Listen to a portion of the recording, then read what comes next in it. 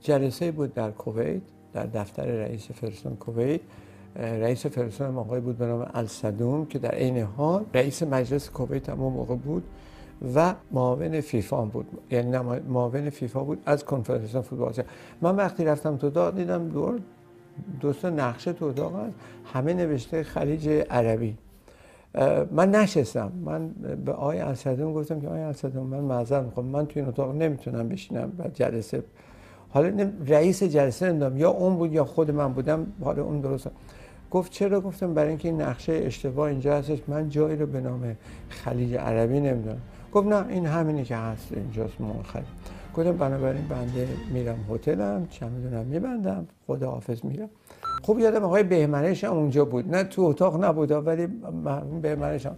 اومدم سوار ماشین به سمت هتل. به هتل که رسیدم آقای الصدون دوون دوون اومد و که آقا نه اشتباه شده حالا ما عوض می‌کنیم و اصلا نقشه ها رو ورمیم. گفتم نقشه ها رو ورمیم با کمال میل میرم جلسه هم داریم. این, این داستان این از این اگر حکومت وقت یا حکومت قوی و با قدرت نبود هیچ وقت در خارج از مرزهای ایران هم هیچ رئیس فدراسیون نمی‌تونست اعمال قدرت بکنه. یعنی اعمال قدرت از حقش حقش استفاده کنه. کامبیز آتابای اهل کجاست؟ اهل تهران. زمانی که من جوان بودم مسئول فدراسیون فوتبال ایران بودم. من مدرسه ابتدایی فیروزکوهی رفتم. بعد از اونجا رفتم البرز. یک سالم فیروز بهرام بودم بعد فرستادنم به خارج برای ادامه تحصیل. اول که برای مدرسه رفته بودم که دیپلمم بگیرم اینا.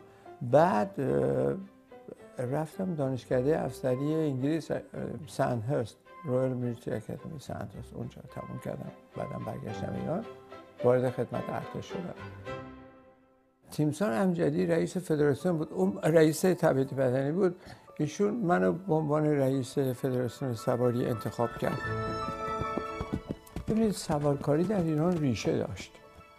منتها سوارکاری به اصطلاح مدرن امروزه چندان توسعه پیدا نکرده بود. افسران ارتشی که در خارج از ایران درس خونده بودن و سوارکار سوارکاری اونجا یاد گرفته بودن اونا این ورزش نوین آوردن به ایران.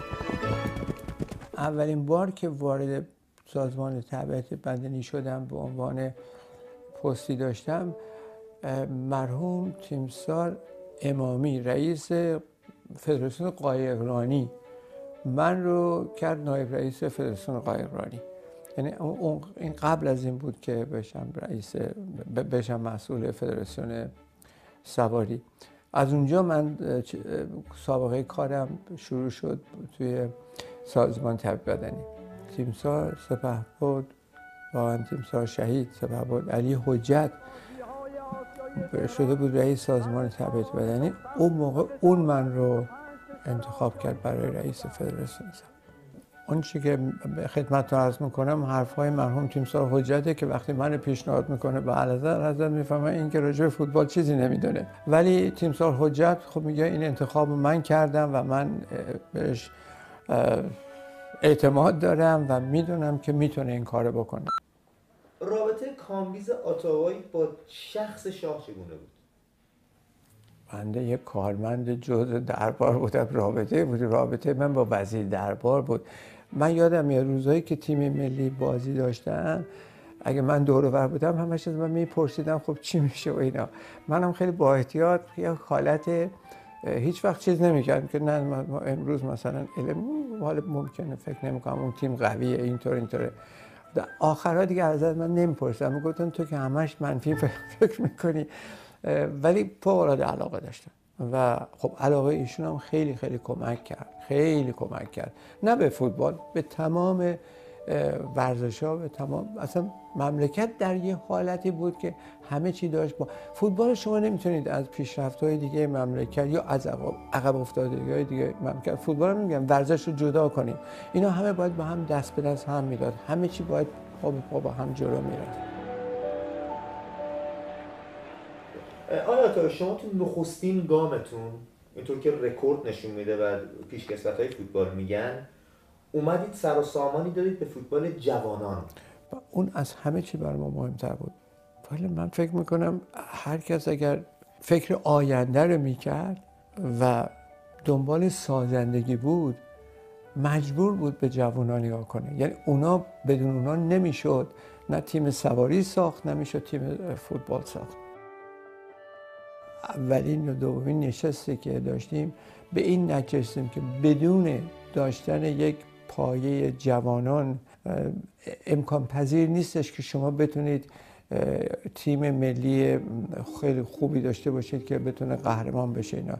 جوانان شد به اصطلاح هدف اصلی ما. فقط این نبود که ما بریم به فکر این باشیم که تیم ملی پیروز بشه و اینا. برای پیروز شدن تیم در دراز مدت شما احتیاج داشتین که جوان رو درست کنین بهشون امکانات بدین که اونا بیان بالا.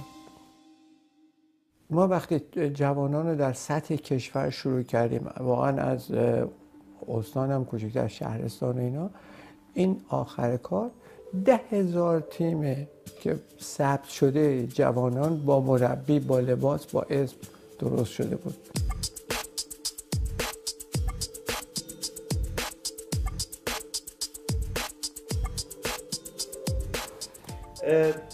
موقعی که شما آمدین فدراسیون ما فدراسیون همچین پولدار که یه بودجه خاصی هم در سال براش در نظر گرفته باشه که بهش برسن و اینایی نبود. منابع مالی و حمایت فدراسیون شما از کجا؟ و به چه شکل تعیین می‌شد؟ با همون بودجه که داشتیم البته بودجه فدراسیون فوتبال از هم بودجه همه فدراسیون دیگه خب بهتر بود یعنی سنگینتر بود.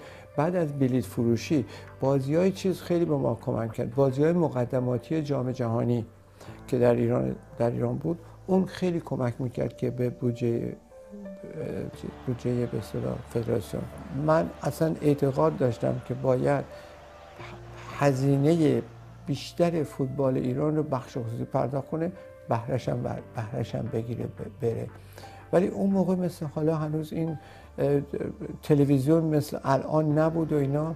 من دو دفعه رفتم با تلویزیون ملیران صحبت کردم راجع به که شما یه بازی رو پخش می‌کنی باید یه پولی هم بدین به باشگاه ها او اصلا این اتاق داشت به هم می‌خورد. اصلا, اصلا قابل قبول نبود. رئیس تلویزیون اصلا چطور ممکنه من این کار بکنم؟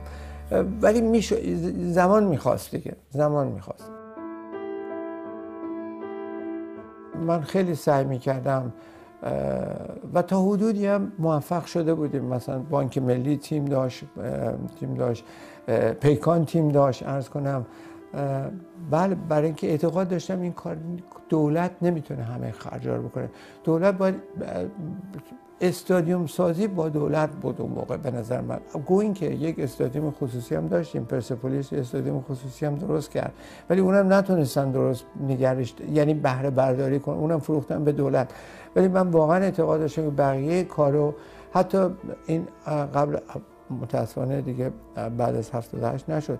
حتی اووردن مربی من میگم آقا باید بریم بهترین و گرونترین مربی دنیا رو هم بگیریم بیاریم. ولی باید بتونیم از بخش خصوصی هم هزینه اینو تأمین کنیم. و می‌شد و می‌کردن. به نظر من قابل شدن بود. منتها قدم به قدم ما داشتیم این کارا رو می‌کردیم که نشد.